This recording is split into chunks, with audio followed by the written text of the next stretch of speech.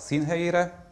és hát az emberiségnek Krisztus és Barabás között kellett választania. A következőképpen látjuk Barabást, ő lesz ebben a mm, apró kis játszmában, már amennyivel ezt lehet apró játszmának nevezni, de olyan értelemben a győztes, hogy ő került ki egyébként élve ebből a konfliktusból, de azt kell egyébként megnézni, hogy megértsük, hogy mit választott itt tulajdonképpen az emberiség, hogy meg kell vizsgálni a két névnek a jelentés tartalmát. Tehát a Jézus névnek, tehát Jézus Krisztus nevének a jelentés tartalmát, és Barabásnak a nevének a jelentés tartalmát. Most a Barabás az egy arámi eredetű szó, összetétel egyébként, a Barabbas az azt jelenti, hogy az atya fia.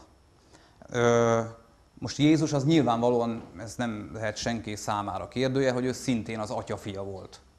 Hát akkor ebben a pillanatban egyébként kezdhetünk megdöbbenni, hogy amikor ez a választási szituáció előállt, 1500 éve, akkor szólt számítva 1500 évvel azelőtt, most már azért több mint 2000 évvel ezelőtt, vagy legalábbis nagyjából 2000 évvel ezelőtt,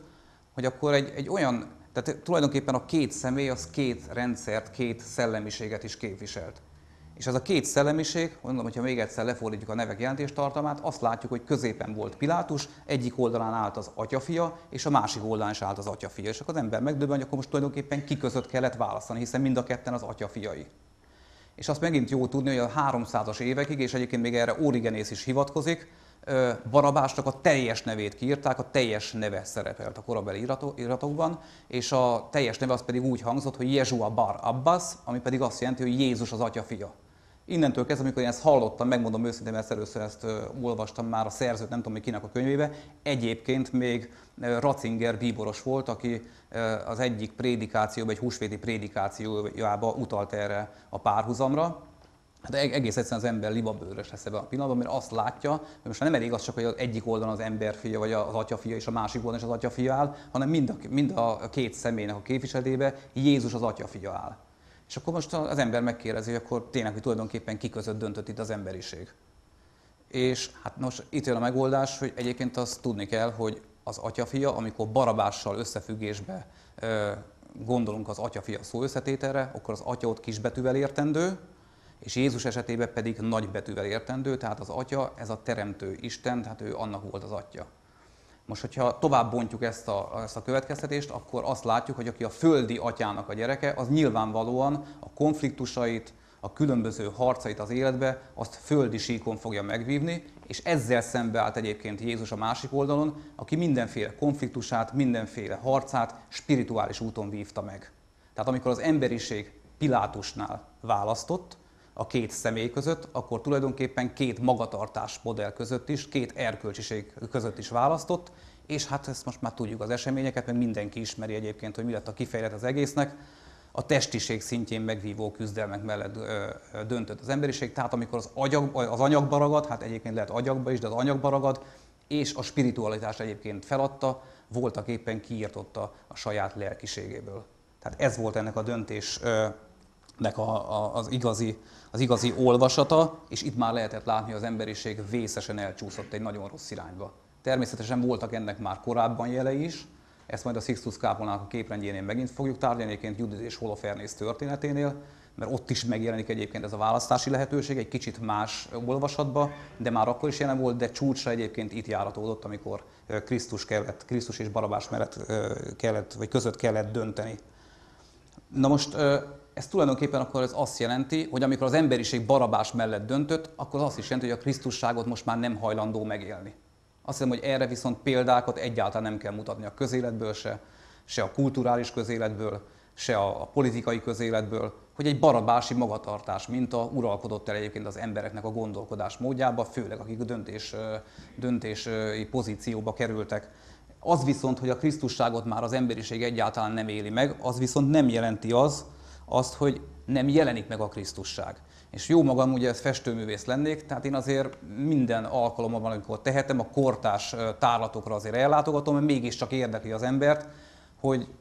tehát a, a művészet az mégiscsak a, a lelkiségnek a szimbóluma. Az az embernek a lelkéből jön, és azáltal nagyon jól le lehet mérni, hogy az emberiségnek a lelkisége hogy milyen, milyen szinten van egyébként ebben a, ebben a világban. Tehát azok a kortás lenyomatok, amelyek visszavetülnek a galériák falairól, az egy egészen pontos, tulajdonképpen mondhatnánk azt is, hogy sebészi precizitással méri meg, hogy milyen az emberiségnek a lelkisége és a gondolkodás módja. Tehát a Krisztusságot nem éljük meg, ez teljesen egyértelmű. Itt láthatjuk, hogy most az utolsó vacsorát megint azért emeltem be, mert az utolsó vacsorán történt a Krisztusnak a spirituális testének és a spirituális vérnek az átadása. Ezt az emberiség eltolta magától, viszont jelen van a Krisztusság, és most látni fogjuk a következő képen. Ez egy elég brutális képje lesz. Most nem mondom azt, hogy gyengébb idegzetőek ne nézzenek oda, mert nyilván azért mindenkit érdekel. Egy kortás tárlata fogunk ellátogatni, és itt az utolsó vacsorát, tehát ugyanezt a képjelet, amit most itt látunk, ezt most látjuk kortás megfogalmazásba. Szegeden volt ez a kiállítás, és az egésznek a lényege az volt, hát azt hiszem, hogy ehhez nem is nagyon kell egyébként kommentárt fűzni, 12 tányér volt kitéve, és azon pedig 12 darab emberi ürülék, középen pedig egy levágott kéldez, ez lehet egy áldásosztókész, bármi lehet asszociálni, nyilvánvalóan egy krisztusi szimbólum, tehát hogy a 12-esség megjelenik körülötte,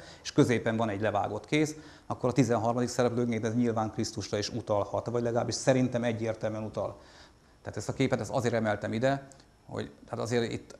akárhogy is nézzük, a mai korunkban is történnek, tehát akár szellemi, intellektuális síkon is olyan események, amire érdemes lenne odafigyelni. Most itt történt egy ilyen gyalázat, tehát amikor a Krisztusságot így meggyalázzák, arra persze azonnal is rögtön ráugrik a sajtó, ez a kép ez egyértelműen ezt mutatja. Ami meg igazán érték lenne, az pedig próbálja magától eltolni, vagy legalábbis nem koncentrál rá akkor a figyelmet, mint amekkorát egyébként kellene. De kiment a sajtó, és akkor megkérdezték a kurátor urat, akit szembe látunk, biztos egy armani öltönyben, nagyon szép sálba, elegánsan elénk áll, és mondja, feltette a kezét, szó sincs arról egyébként, hogy itt most az utolsó vacsorára szerettünk volna asszociálni, ez csak egyszerűen egy kép, nem tudja egyébként, hogy miért kell ezt annyira túl dramatizálni, nincs erről szó.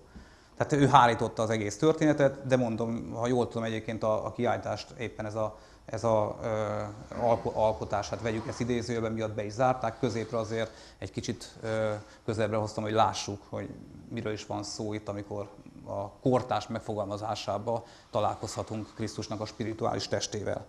Most a következő képjel, mondom, ezek most elég durva képjelek lesznek, de úgy gondoltam, hogy ezeket muszáj betenni, hogy lássuk egyébként, hogy a galériáknak a közegét és a galériáknak a, a tereit, hogy milyen szellemiség uralta el. És jól látható itt is, tehát ott volt egy, egy, egy amire simán lehetett, mindenféle ellentmondás nélkül lehetett asszociálni a Krisztusságra, a 12-eség is mondtam középen a kéz miatt,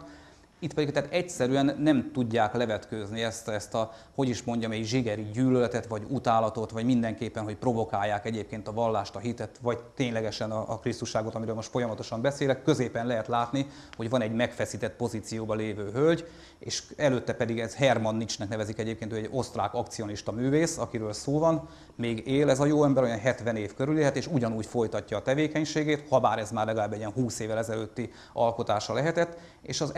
előtérbe, tehát ez egyébként neki a fő motivuma, hogy disznókat vág fel lehet látni, és a beleit ezeket kiszedi a disznónak a, a testéből, és ezzel fröcsköli egyébként össze az éppen keresztre feszített, vagy különböző vallási szimbólumokkal megjelenített szereplőit ennek az akcióknak. Hát most, hogyha megint szimbolikusan olvassuk egyébként ezt a képet, bár nem tudom, hogy kinek mennyire van egyébként gusztusa hozzá, na de hát a disznó, ez megint csak azt jelenti, hogy eldisznolkodom egyébként a megváltásnak a lehetőségét, ha már áttétesen akarok gondolkodni. A disznó az egyértelműen a földhöz köti a, a, a, az emberi minőséget, tehát egy disznókodásról van szó, egy alapvetően földi minőségről. És ezt a földi minőséget kibelezi, és ráfröcsköli egyébként magára a női nemre is, ami, hogyha megint csak szimbólumok nyelvén gondolkozunk, már pedig miért ne gondolkodnánk abba, hiszen művészetről van szó, az pedig a születésnek, az újjászületésnek, az életnek a szimbóluma. Tehát ez tulajdonképpen legyalázza. Ez Hermann Nietzschnek és egyébként az akcionizmusnak és a modernizmusnak most egy egészen, egészen drasztikusan jelenlévő vonulata. A következőképpen ugyan úgy tőle láthatunk egy képet, hogy most egy megnyúzott emberi tetemet rakott a Krisztusnak a, tehát a korpusz elé, hát közelebbről láthatjuk ezt egy kicsit, és akkor itt jön az egyik leg, úgy is mondhatnám, hogy visszataszítóbb alkotás, amit Gulyás Gábor, aki most megrendezte a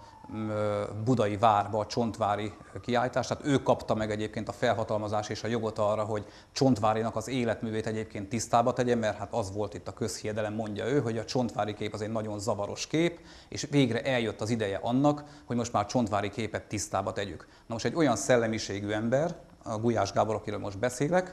tehát ő csinálta azt meg, hogy mikor még Debrecenben a Modemnek volt egyébként ő a, a igazgatója és a kurátora is, ott rendeztek egy kiállítást a Messiások címmel, mai Messiások címmel, és ott ezt a képjelet több egyébként súlyosan off és, és vallásgyalázó és drasztikus képjel mellett ezt a képjelet is kiállította a megváltásnak a, nem tudom hogy egészen pontosan, hogy mi volt annak a szekciónak, hanem négy részletre volt osztva egyébként a kiállítás, és ez volt egyébként a kicsúcsosodás, amikor már tényleg valóban megjelenik a Krisztusság. Na most Gulyás Gábor rendezésében a Krisztusság így jelenik meg, ő egy New Yorki művész, André Serrano a neve, és ennek a képnek most így igazság szerint, hogyha valaki nem ismeri a képnek a háttértörténetét, akkor nem viszonyog tőle, mert nem tudja, hogy miről van szó. De én most ezt el fogom mondani, hogy utána lehet kezdeni viszonyogni, mert arról van szó, hogy ez egy körülbelül életnagyságú szobor, ez egy életnagyságú medencét, tehát hogy ez a szobor beleférjen, életnagyságú medencét állított fel, és ebbe az életnagyságú medencébe emberi vizeletet töltött, és ebbe merítette meg a Krisztusságot, és a kép címe a Pisis Krisztus. Na most Gulyás Gábor rendezésébe az egésznek a spirituális csúcsra járatódása, az egész kiállításnak, amit ő szervezett a Messiások címén, ez, ez volt az egyik alkotás. Egy másik pedig még, hogy itt gyorsan akkor egy kicsit összevonjam itt a, a, a különböző képjeleket és a gulyásnak a szellemiségét, ami számomra megdöbbentő. Most elnézést, egy kicsit eltérek a témától, csak ez ilyen friss az élmény, és az ember ilyenkor hát nehezen tudja ezen egyébként magán túltenni. Volt egy olyan ö, kép, körülbelül 100-130 alkotást állítottak ki ezen a Messiások című ö, kiállításon, és Gulyás egy, egy, egy, egy egy keresztény portálnak nyilatkozott egyébként Gulyás Gábor, ami egyébként szintén megdöbbentő. Nem az, hogy nyilatkozott neki, hanem hogy mi volt a keresztény portálnak a kommentje a kiállításra, tehát teljesen pozitívan fogadták ezt a kiállítást, mondom, egy keresztény, egy evangélikus keresztény portálon, és Gulyás Gábor megjelölte, hogy melyik volt egyébként az ő kedvenc alkotása. És az alkotás ez úgy nézett ki, hogy volt egy ilyen, hát nem tudom, hogy parafa vagy faroslemez, teljesen mindegy, olyan 70-szer százas alkotás lehetett, megint csak vegyük erősen idézőbe az alkotást, az volt az alkotásnak a címe, hogy csináld magad, középen volt egy fakereszt, mellette megint egy kis korpusz, három darab szeg és kalapács. Na most akkor gondoljuk végül, hogy tulajdonképpen mire szólít fel ez, a, ez, a, ez, a, ez az alkotás. Arra, hogy csináld magad, íveljünk át az időn, felejtsük el ezt a 2000 év idő távlatot, amit akkor megcsináltak a római katonák, természetesen a zsidó főpapságnak a utasítására és parancsára, mint eszközök végrehajtották, azt most csináltassuk meg egyébként mi is, akár a családtagjainkkal, a gyerekeinkkel. Ez egy ilyen keresztre feszítő szett tulajdonképpen. Tehát csináld magad, feszítsd meg Krisztust a mai napon is, hogyha lehet. És ez volt Gulyás Gábornak a, a kedvenc alkotása. De deklaráltan ő ezt ki is jelentette és vállaltan. És erre egyébként meg helyeselt a, a, a katolikus portál. Na és ő kapta meg egyébként a jogot a csontvári kiáltásnak, illetve a csontvári szellemiségének a tisztába tételére. Hát innentől kezdve lehet gondolkodni, hogy körülbelül hol járunk ma. Na, még azért lépünk egyet, még egy kortás alkotás, aztán utána tényleg be fogom fejezni. Itt Fekete Györgyöt látjuk alul, gyorsan kicsit megpörgetem. Fekete György látható alul, kutya képébe, nem lehet tudni, hogy milyen nyúlvány jön ki a szájából, és egy keresztre, ismét egy keresztre feszített hölgynek a melbimbóiba csatlakozik be ez a, ez a, ez a nem is tudom mi, valami drót, vagy igazság szerint nem nagyon lehet megállapítani, hogy mi. Ezt csak azért tettem be ezt a képet, mert amikor Fekete Györgyöt kinevezték a műcsarnoknak az élére, akkor a liberális szellemiség és a liberális háttérország iszonyatosan fel volt háborodva, hogy most a Fekete Györgynek a szellemiségével most majd drasztikusan, tehát az ő szóhasználatok szerint egy ilyen teljesen bigott keresztény látásmód fogja átvenni biztos a hatalmat a műcsarnokba, és mielőtt egyébként még átvette a, a, az igazgatói pozíciót ez a drága barátunk, aki itt lent látható, azelőtt még körülbelül, tehát az átvételi még egy olyan három hónapos időciklus még, még rendelkezésre állt a művészeknek, és aki még az előző műcsarnoknak az igazgatója, ott most nem jut hirtelen az eszembe a neve, de azt mondta, hogy erre a helyzetre, ami kialakult, most nyugodtan lehet reagálni, Fekete Györgynek a szemét is akár meg lehet célozni, és mindenki a saját ízlése szerint mondja el a véleményét erről a kialakult helyzetről. És hát itt is ez jelent meg. Tehát, hogy így vagyunk képesek le reagálni egyébként különböző konfliktusokat, hogy a vallásgyalázat az minden szinten egyébként jelen van. Na most a következő képen azt fogjuk látni, hogyha így működik a világ, és hagyjuk egyébként, tehát hogyha ezt szó nélkül eltűrjük,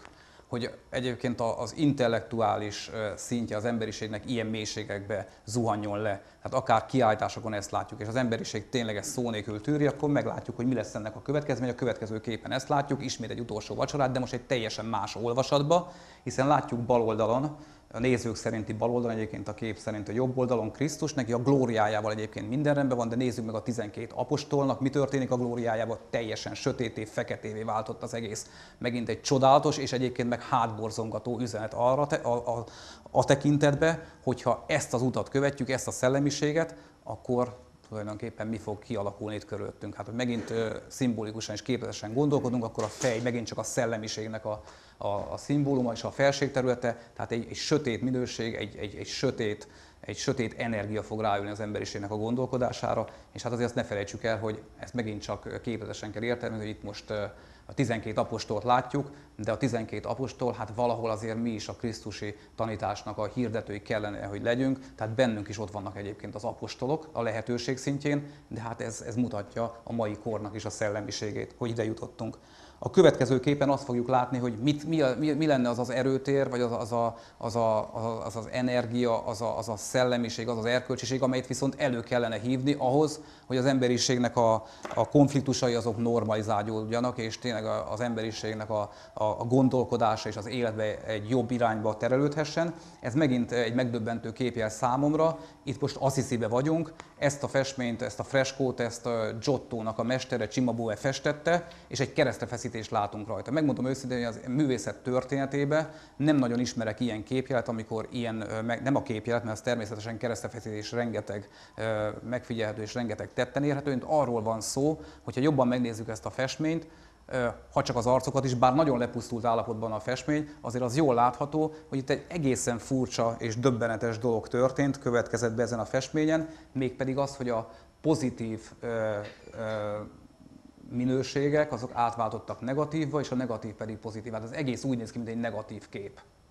Tehát pontosan, amikor még nem voltak ezek a digitális fényképezőgépek, hanem a negatív filmtekercset kellett befűzni, és mikor mi azt a fényképeket megcsináltuk, és mondjuk elvittük az ofotérbe, akkor néztek pontosan így ki. Az egész festmény átváltott negatívba. Na most ez mit jelent? Nem azt hogy egy negatív erővel szembesülünk, hanem az azt jelenti, hogy megmutatja, hogy egyébként mi lenne az út. Krisztus keresztrefeszítését látjuk, hogyha keresztrefeszítésre gondolunk, akkor természetesen nem csak arra kell gondolnunk, hogy az ókori kivégzéseknek az egyik eszköze, hanem ezt a keresztet nyugodtan értelmezhetjük úgy is, hogy van egy horizontális és van egy